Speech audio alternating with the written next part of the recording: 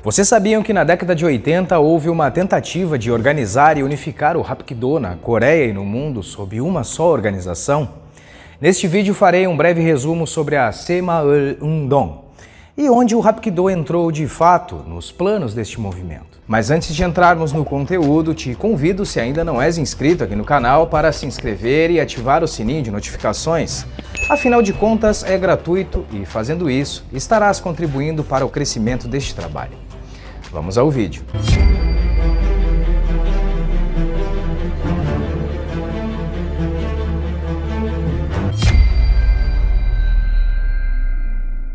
Uma iniciativa política lançada em 22 de abril de 1970 pelo terceiro presidente sul-coreano Park Chung-hee com o intuito de modernizar a economia rural baseada no comunalismo tradicional coreano, forneceu as regras para o autogoverno e a cooperação nas comunidades tradicionais coreanas. Este movimento, chamado de Semaul-undong, inicialmente procurou retificar a crescente disparidade do padrão de vida entre os centros urbanos do país, que se industrializavam rapidamente, e as pequenas aldeias que continuavam mergulhadas na pobreza. A fase inicial do movimento concentrou-se na melhoria das condições e ambientes básicos de vida, enquanto os projetos posteriores se concentraram na construção de infraestrutura rural e no aumento da renda da comunidade. Embora saudado como um grande sucesso na década de 70, o movimento perdeu forças durante a década de 80 devido ao assassinato inesperado do presidente Park. Bom, mas o que este movimento tem a ver com o Hapkido? Vamos entender.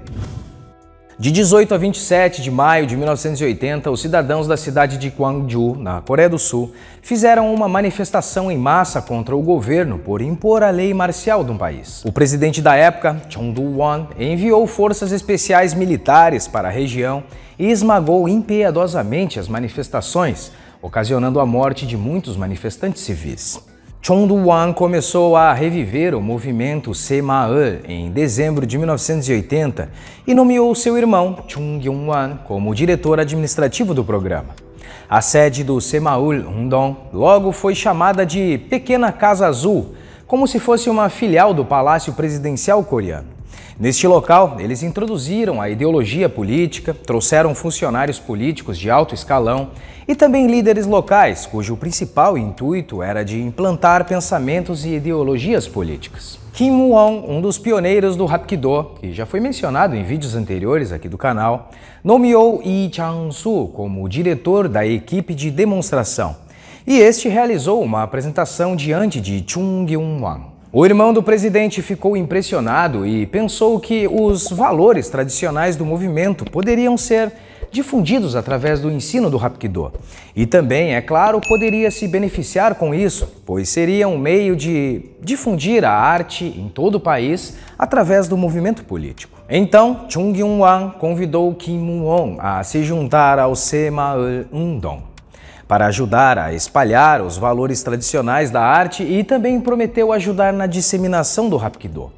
Kim Moon aceitou o convite, concordou com os termos e disse: Como Ji Han-jae deixou a Coreia e Myung Jae-nam formou uma nova entidade, acabei ficando sozinho em nossa associação original e toda a responsabilidade caiu sobre os meus ombros. Neste momento, Chung Yun-an, que era um amigo de longa data de Kim Moon, propôs ajudá-lo.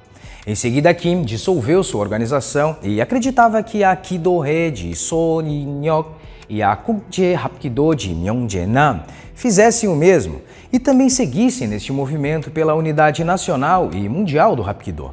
Mas isso não aconteceu.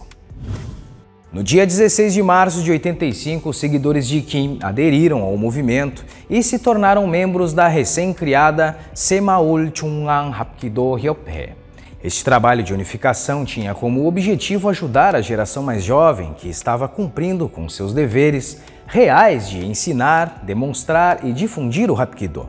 O quadro diretivo da entidade ficou formado da seguinte forma: Kim Jong-soo foi eleito presidente, Kim Won vice-presidente e do Conselho de Mestres, Choi Sung-nam secretário-geral, Hwang Dok-yu, presidente de arbitragem, Lee Chang-soo ocupou o cargo de diretor de demonstração e Chang Soo-ok e Oh Se-lim serviram como membros do comitê promocional. Nos próximos vídeos conheceremos os planos, as conquistas, os bastidores, bem como o declínio desta entidade. Espero que vocês tenham gostado. O vídeo de hoje fica por aqui. Um grande abraço e até a próxima.